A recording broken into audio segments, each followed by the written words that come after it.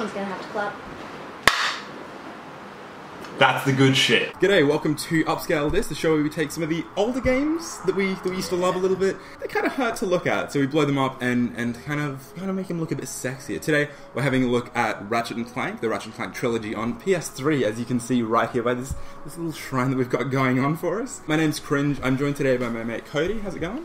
Good. You Yeah. we had a good time playing uh, Ratchet was Clank good, actually, yeah. I enjoyed that too much. because you played a fair bit of it on the PS2, Yes. and it was really good then. And still good now. and it's still good now. But Yeah. we we spoke a little bit about how like how groundbreaking it was at the time. the graphics just stepped straight up from what was before. GoldenEye, Spyro to let's have all these polygons. And Clank, Let's have all these polygons, make it look so much better. Obviously, it's not going to stand up to PS3 games that were native from the, the system. But visually, it does it hurt that much to look at. Once you blow it up to a high resolution, you blow it up to a slightly about double the frame rate, 60 frames a second and 1080p that we played it in. You obviously look at the buildings and they kind of look blocky, and some of the textures look kind of low Yeah. res. But if it, if we like like through bloom effects, and if we threw ambient occlusion, and if we threw like all of these And all particle effects And and, all stuff like that. If you pretty much just put it through UDK and rebuilt the levels, yeah.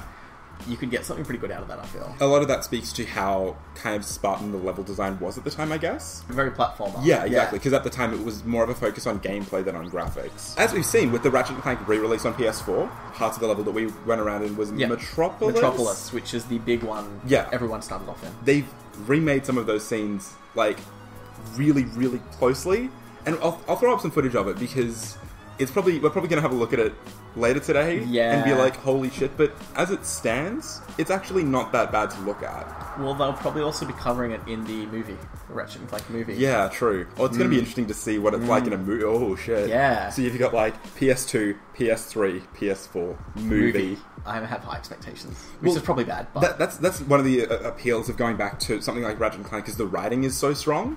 A lot of it leaned on that comedy, a lot of that fun. Mm. it was all comedy. It was Yeah. great. Just sitting there listening to Qwark or something like that. It was great.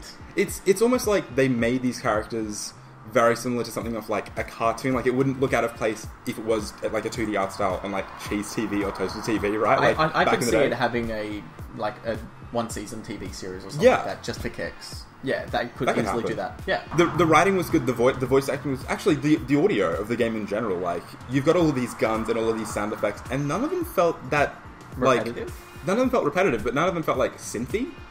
Because Hmm. like coming off the back of PS One, obviously it's like holy shit, we have a full CD to work with. Going to a DVD, they've got a lot more room for audio. They've got a lot of room for high bandwidth audio there. Yeah. Yeah. and some of the sound effects that you get, particularly with some of the guns, don't sound hollow. Yeah. Yeah. It sounds like it was like a proper shot. Which is something that even today some games kind of fall fall down on. Yeah, yeah. It's like, oh, here's this new gun. It has the stupidest sound. It's really dumb, yeah. And you hear it non-stop over and over, and you're like, "Fuck, It's like I can't shoot this. why?" Graphics good, writing's good. Gameplay.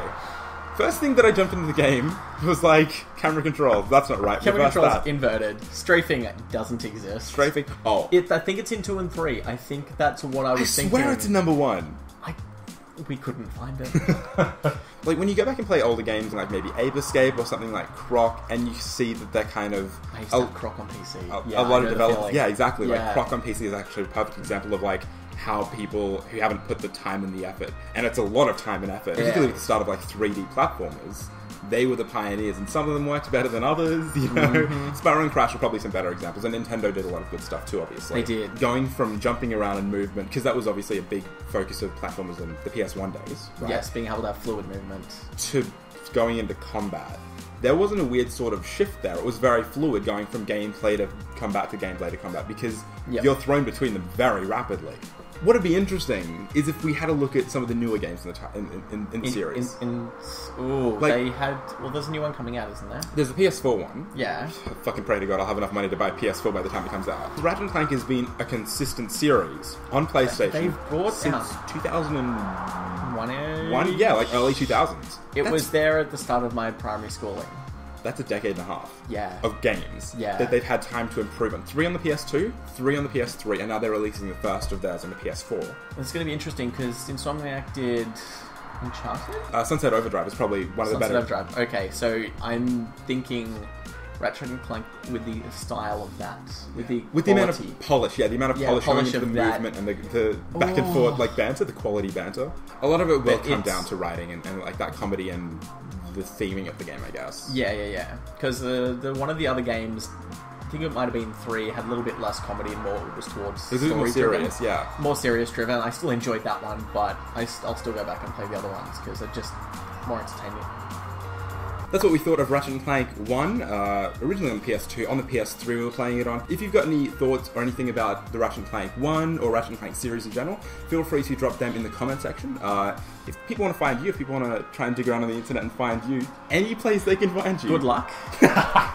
If, if you want to catch up with anything that I'm doing, you can find me on Twitter, where I am at Crinjworthy. You can find me on Twitch, where I stream with a whole lot of random friends. You'll probably be rocking up on there this weekend, actually, I'm pretty sure. That's uh, at twitch.tv slash crinjworthy. And uh, as always, you can find everything that I'm doing here at youtube.com slash crinjworthy. Uh, thank you so much for watching. That's it from us. Talk to you later. Peace out.